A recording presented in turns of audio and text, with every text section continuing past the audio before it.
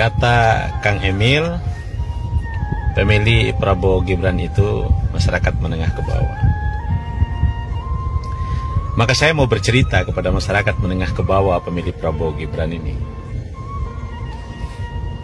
Anda tahu tidak bahwa kalau orang ada jabatannya menteri, jabatannya komisaris, BUMN, BUMN itu badan usaha milik negara itu kalau dia telepon pengusaha ya itu gampang dapat duitnya.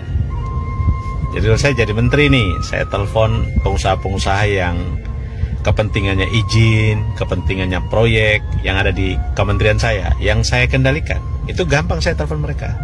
Eh kamu tolong bantu saya uang sekian miliar ya nanti proyek ini saya kasih kamu. Ya kamu tolong bantu saya sekian ratus miliar ya nanti proyek ini saya kasih kamu. Itu gampang dapat duitnya. Ya jadi rakyat biasa yang rakyat jelata anda yang di bawah ini saya mau cerita nih.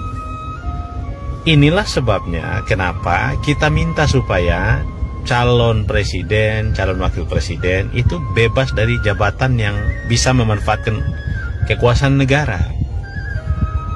Karena kalau mereka jadi calon presiden calon wakil presiden jadi tim sukses masih menjabat menteri itu gampang gerakin pengusaha untuk dapat duit. Ya. Nah sementara anda yang memilih itu di rumah makan tempe tempe ya mending kalau digoreng ya. Kemudian makan tahu. Hidup anda begitu-begitu aja ya. Giliran datang tanggal 20 anda sibuk pusing bayar listrik gimana ya?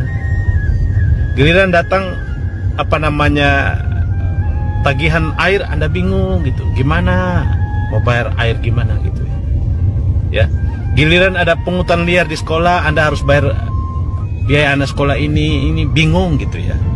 Giliran mau berobat ke rumah sakit Anda harus diminta KTP, harus diminta isi ini, isi itu, kemudian dilayani tidak dengan baik, obat nggak ada.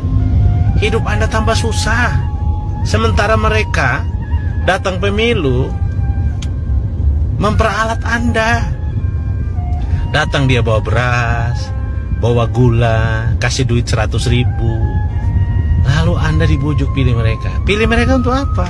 Untuk pelihara jabatannya, untuk pelihara posisinya supaya dia gampang dapat uang, ya harta kekayaannya ditimbun bertambah sementara anda rakyat Indonesia makin hari hidup anda makin susah cari duit susah lapangan kerja susah anda bisa bayangkan negara ini dalam bahaya.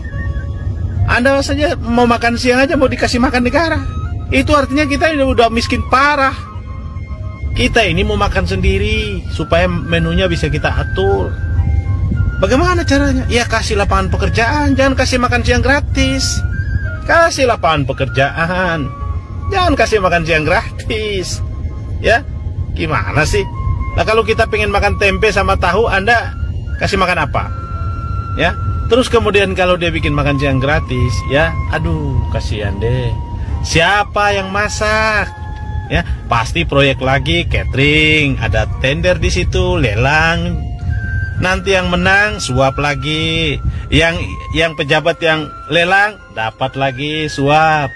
Nanti menunya ada misalnya lima menu kurang jadi tiga menu. Kemudian siapa yang jamin? Makanannya sehat siapa yang jamin kualitas makanannya? Kalau anda keracunan siapa yang yang harus tanggung jawab? Aduh ribet banget sih negara. Udah yang jelas cuma Pak Anies. Ya listrik 900 ke bawah digratisin 1300 dapat subsidi ya. BPJS gratis berobat dengan KTP cukup ya Berobat bawa KTP selesai urusannya. Nggak ada lagi harus isi formulir-formulir ini nggak ada. Bawa KTP seluruh rumah sakit wajib layani. Ya, bagi rumah sakit swasta juga wajib layani. Tidak layani izinnya yang akan dicabut. Karena semua nanti di, diurus oleh negara. Nah, nggak usah khawatir. Ya, begitu. Jadi pemilu ini jangan kita dibodoh-bodohin. Ya, jangan milih orang yang ada jabatannya dia ke mana-mana ya pakai mobil bagus ya bawa uang ratusan miliar bagi-bagi uang Anda yang nggak punya uang, Anda senang, Anda lihat, wah dia bagi-bagi uang, dia banyak uang, Anda bangga. Padahal dua uangnya itu dapat dari uang maling-maling itu. Ya, uang dia jual beli proyek, ya, uangnya itu uang yang dipakai untuk fasilitas negara. Kemudian dia ambil lalu dia bagikan kepada Anda. Lalu Anda menganggap, waduh, ini udah hebat. Ya jangan gitu. Ya. Pilih yang benar, pilih yang waras. Jangan pilih orang yang aneh-aneh ya. Pilih Pak Anies biar hidup Anda tambah sejahtera. Ya, salam perubahan.